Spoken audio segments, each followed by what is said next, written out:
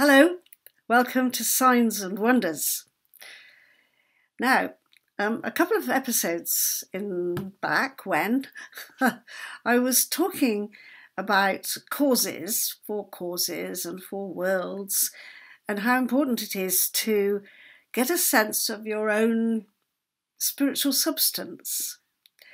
And I mentioned that you could look at your astrological chart and get some ideas from that, or you could perhaps go on a an inner journey if you could find a therapist, a past life therapist, perhaps you could get some kind of idea of what you wanted when you came into this world. But another way of doing it is to look at the signs and wonders from your childhood. To look at, well, what happened when I was really tiny? Because the energy of who you are comes in at birth and various events will start shaping up around you. Some of them might look, in retrospect, to be not very comfortable, but in retrospect, they could actually be just what is needed for you, and that there's some kind of uh, feedback loop that you are actually creating what is appropriate for your process. Now, here's an example.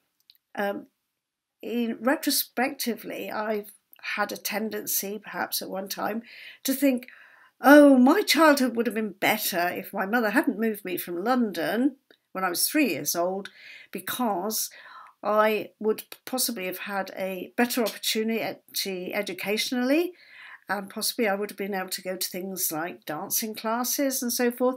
Whereas I was taken to the countryside, and I um, often, certainly when I became a teenager, felt it was rather stuck, kind of boring place and not much happening and so forth.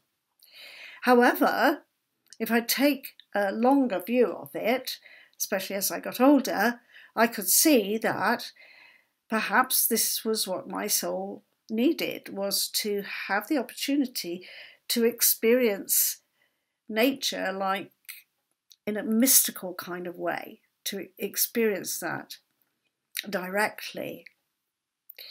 And when I was um, in my late 30s, I moved again to the countryside. I moved to Somerset and I had an experience there of having a sensation of of a presence in the landscape.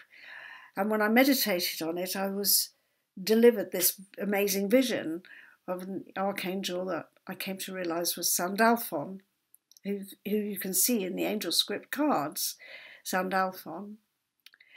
And then it was sometime afterwards that I had a recall of being in the Cotswold countryside when I was only about four years old, and I was able to walk to school on my own, about two miles, and I would walk down the Cotswold roads because there weren't any cars then, really, so it was quite safe. Um, but over the wall, I could see this amazing rolling landscape, and I realised that that angel had been there. I hadn't seen it in my eyes when I was only four, but I recalled it as an adult and realized yes, that angel had been in there, in that landscape for me, present for me, even though I wasn't able to see it as a four year old.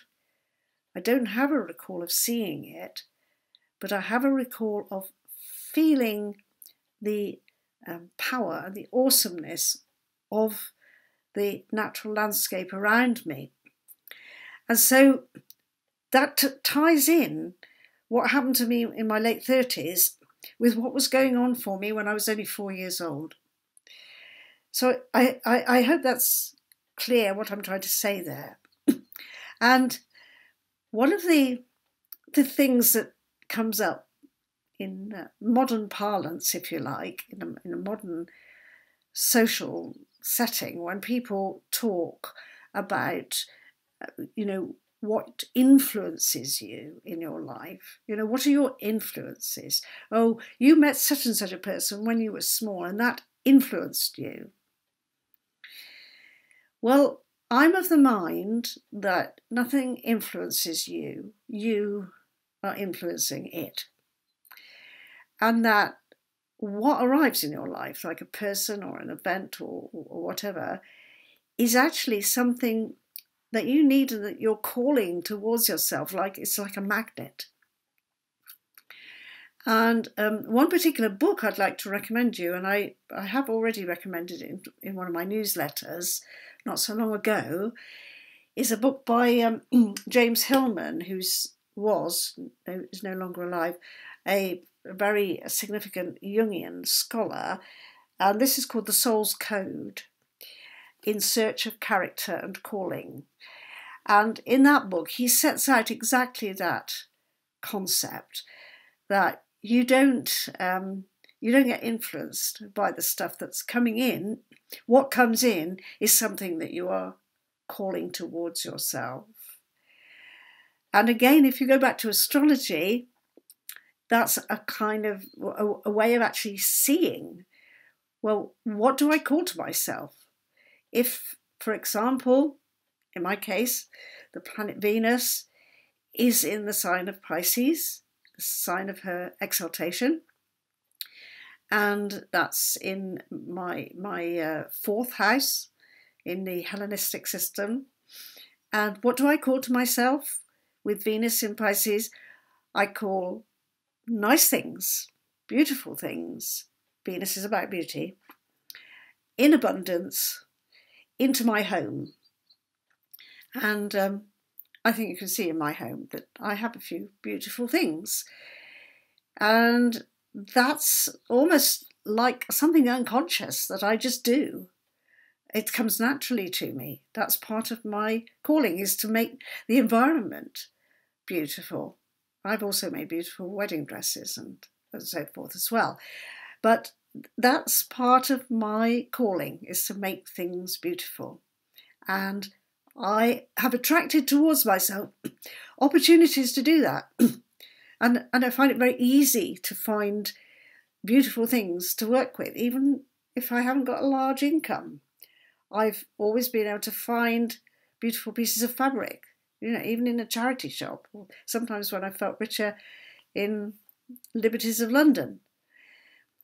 But that's not something that I could have dictated as um, um, kind of the law of attraction idea might suggest. The attraction is happening because that's something essential in who I am. There are other things that I attract from other uh, planetary uh, assignations, if you like. But what we're talking about here is that when you discover something about the substance of who you are, let's go back to Aristotle and his four causes. What is the substance of who you are? Because it's very easy for the ideas to come. It's very easy to become efficient and it's very easy to reach your goal when you know inwardly what the substance is that you can work with.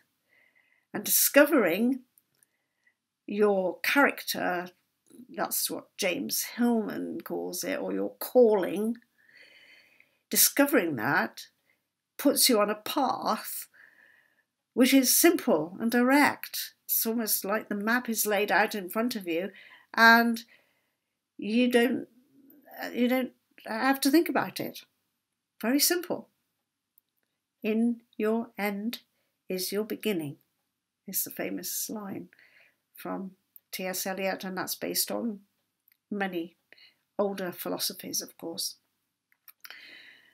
So Look at your beginning, and then you start to understand what your end might be, and then you'll see how easy it is to move between one and the other.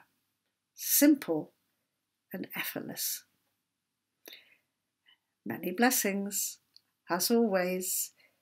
Keep shining, and once you find your calling, if you want to start grounding it and you need some help, Look at my course, Grounding Your Life Purpose. Many blessings.